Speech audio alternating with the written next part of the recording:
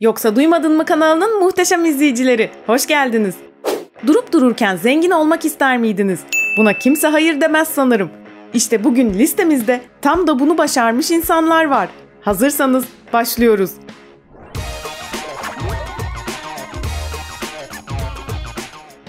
Beş numara Ataç ile ev almak.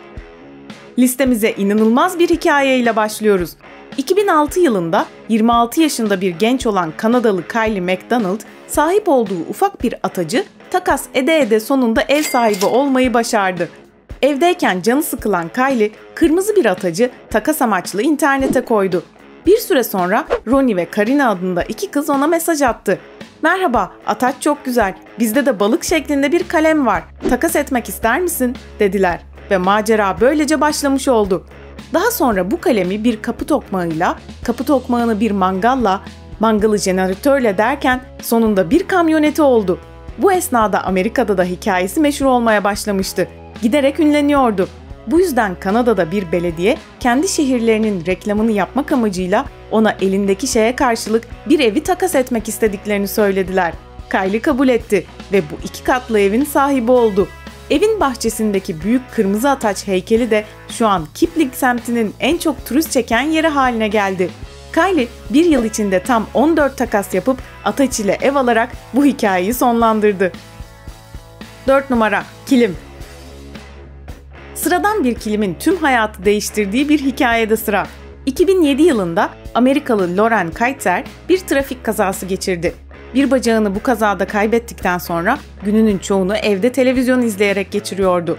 Bir gün Antika Avcıları adlı programı izlerken Kızılderililere ait el dokuması kilimin açık arttırma ile 500 bin dolara satıldığını gördü. Loren kilimi görünce şoka girdi. Çünkü aynısı kendi evinde de vardı. Bu olayı ailesine anlattığında ona inanmadılar ve güldüler. Ama Loren ona büyük annesinden kalan bu kilimi bir uzmana götürdü ve gerçek ortaya çıktı. Bu kilim de televizyonda satılan kilimle aynıydı. Hatta durumu daha iyi olduğu için daha yüksek fiyata satılacağını söyledi. Gerçekten de yapılan açık arttırmada tam 1,5 milyon dolara bu kilim satıldı. Evde izlediği bir program sayesinde Loren'in hayatı bir anda değişti. Kendine yeni bir ev, araba ve hatta motosiklet aldı. Sanırım ailesi artık ona inanıyordur.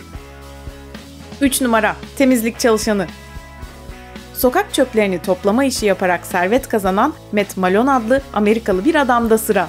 Matt işini diğerlerinden biraz daha farklı yapıyor ve sadece zengin muhitlerde çalışıyor. Bu sayede kıymetli eşyalara rastlama ihtimalini arttırmış oluyor. Tabii ki çoğunlukla bulduğu şey yemek atıkları. Ama bunun yanında çalışır vaziyette ev eşyaları, elektronik eşyalar da buluyor. Onları temizleyip internet üzerinden satıyor. Metin dediğine göre yılda ortalama 100 bin dolar kazanıyor. Buldukları arasında en kıymetli olan şeylerden biri Muhammed Ali'nin çizdiği bir resim ve içinde Donald Trump'ın cep telefonu numarası bulunan bir kartlık. Ayrıca bu Metin yaptığı tek iş değil. Gündüzleri güvenlik danışmanı olarak çalışıyor. Yani çöp toplama işi onun için bir ek meslek. Ne dersiniz? Yılda 100 bin dolar kazansanız siz de bu işi yapar mıydınız? 2 numara Star Wars figürleri. Eğer bir filmin hayranıysanız filmde bulunan karakterlerin figürlerini de almak istersiniz. Fakat bu figürler çok pahalıdır. Ama eskiden bu figürler popüler şeyler değildi ve çok ucuza satılırdı. 1983 yılında İngiliz bir Star Wars hayranı film için üretilmiş 93 tane figürün tamamını satın aldı. Hem de tanesine sadece 1 dolar verdi. O yıllarda Star Wars yeni çıkmıştı ve günümüzdeki kadar popüler değildi. Belki de bu yüzden ucuzdu, kim bilir. 2022 senesinde ise bu koleksiyonu satmaya karar verdi. İnternet üzerinden yapılan açık arttırmada kazanan rakam 60 bin dolar oldu. Gençken satın aldığı 100 dolarlık figür seti şimdi onu küçük bir servet sahibi yapmış oldu. 60 bin dolar hiç de fena bir para sayılmaz değil mi? 1 numara ödüllü turnuva Satrançtan futbola, Counter Strike'tan LoL'e kadar bütün turnuvalarda para ödülü olur. Bu turnuvaların büyüklüklerine göre de dağıtılan ödül miktarı değişir. 2011 yılında yapılan StarCraft adlı oyunun turnuvası da küçük bir turnuvaydı. IC Cup Star League adındaki turnuvada dağıtılan ödüller şu şekildeydi. Birinci 500 dolar, ikinci 250, üçüncü 150, dördüncü 100, 5 ve 8 arası ise kişi başı 25 Bitcoin alıyordu. 2011 yılında o zamanlar Bitcoin sadece 1 dolardı.